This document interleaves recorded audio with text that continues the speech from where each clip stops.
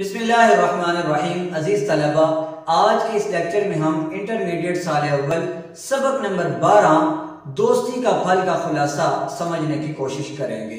ये सबक शफी अकील की किताब से लिया गया है। अज़ीज़ तलबा, ये एक लोक दास्तान है। लोक दास्तान का बाकायदा कोई मुसनफ़ नहीं होता, बल्कि ये कहानियाँ नस्ल दर नस्ल, सीना बसीना वालदेन से औलाद को मुंतकिल होती चली जाती हैं। और ये इन कहानियों का मकसद अपने बच्चों की, अपनी आने वाली नस्ल की अखलाकी और रूहानी तरबियत करना है। अज़ीज़ तलबा, आइए इस सबक के खुलासे की तरफ़ बढ़ते हैं।